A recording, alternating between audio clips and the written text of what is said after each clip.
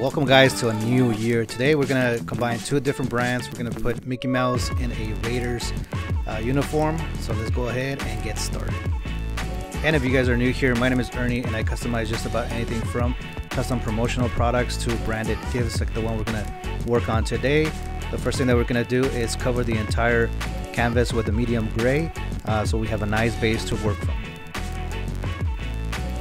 This entire process took about two uh, hours and the first thing I'm going to do after applying the base is just texturize uh, the background. I'm trying to create some sort of like uh, movement uh, type of uh, texturize so I'm going to um, you know brush a lot of strokes back and forth and put a lot of lines uh, horizontal so it looks like movement. The top half of the canvas is going to represent kind of like the stand the audience the bottom half is going to be the field gonna go ahead and throw some uh, uh, light highlights. Uh, this way it kind of shows, you know, the stadium lighting. And then I'm gonna go ahead and create my stencil.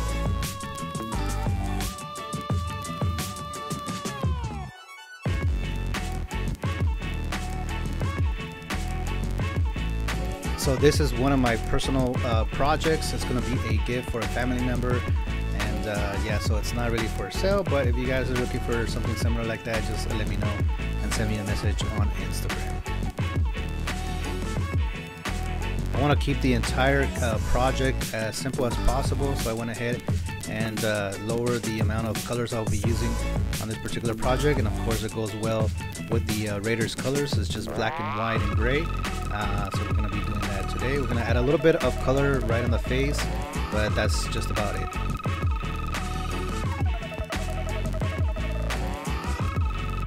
Uh, the first type of material that I use for the uh, decal is just regular uh, vinyl material that you normally use as uh, for stickers and stuff like that. Uh, the second one that you're looking at now, the kind of bluish tinted, that one's actually like a a stencil material that you can also buy. It's a Frisket material and that also cuts very well. So I'm using a brand new blade and then you can actually, if you're used to cutting with the blade, you'll feel when you're cutting onto the film and when you're starting to uh, touch the canvas on the bottom. So you just have to practice uh, your pressure and you'll you'll feel it right away. So uh, it becomes easier and easier as you uh, continue doing it. So at first you might kind of cut through some things. So you might want to practice on a uh, piece of uh, scrap canvas or board.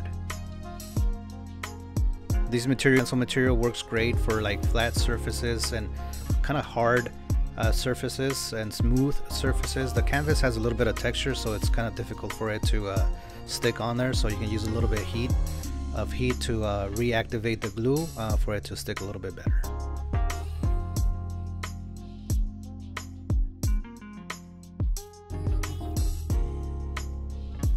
Right now I'm working on all the details inside Mickey Mouse, his helmet, his shoes, his uniforms and stuff like that. So I'll just be using a lot of scrap, uh, you know, stencil material just to block out those small areas. And then I'll, uh, once I finish uh, the main character, I'll go ahead and start working a little bit more on the background.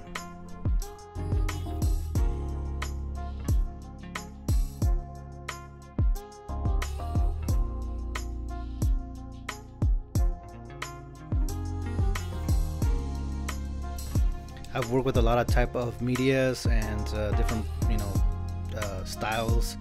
Uh, so for me, it's it, it's better for me to use the right tool at the right moment uh, to make the job uh, look nice or the project look nice, and uh, to make it go by a little bit quicker. So some people like to use you know the brush all the way through through the entire thing, which is cool too. But for me, I wanna I like mixing the the medium because it kind of gives it a different uh, style, different perspective. Sometimes it comes out cleaner, sometimes you want something dirtier. So it just depends on uh, what you want to go for. Uh, in this case, I'm trying to do this as quickly as possible, but as clean as possible as well.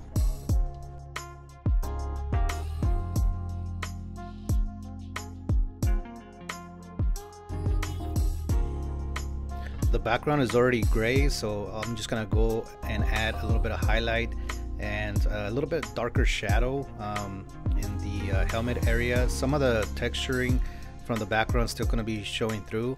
Uh, I kind of like that. It kind of makes it look uh, kind of sketchy and rough. At the same time, it kind of gives the helmet uh, more texture so I'm gonna go ahead and leave that I'm just not gonna you know do it all solid and stuff like that make it look too cartoonish so I'm gonna leave some areas with that texture in the background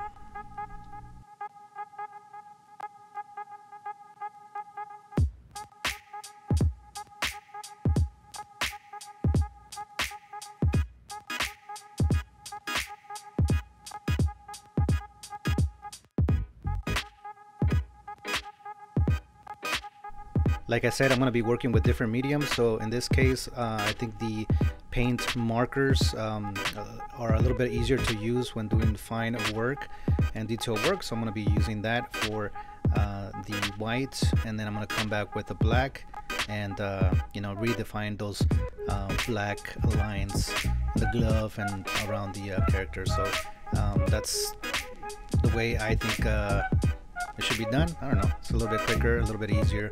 Uh, it makes it more fun as well because you're using different types of mediums.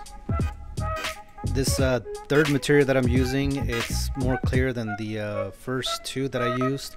It's actually transfer tape for uh, decals, um, so it's a little bit less affordable, uh, or actually more affordable uh, to use. Um, you know, it's not as big, but it does the job for what I need to do right now is just covering the uh, character and just working on the background a little bit more. So, um, yeah.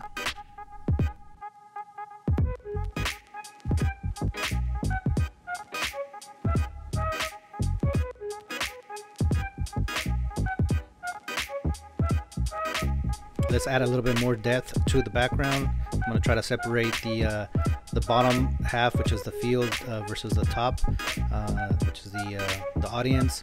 And I'm gonna put a um, uh, goal line uh, there, so it kind of looks like he's running into the end zone, and makes it uh, even more of a fun uh, painting. So I'm gonna do that. Take off the uh, stencil and just try to see where else we need to refine and add some more material. And at the end, we're just gonna go ahead and sign it.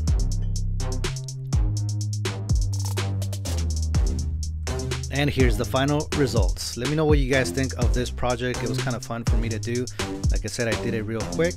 It was about two hours uh, to complete. I already knew um, the processes that I was going to take so I just went ahead and executed uh, that.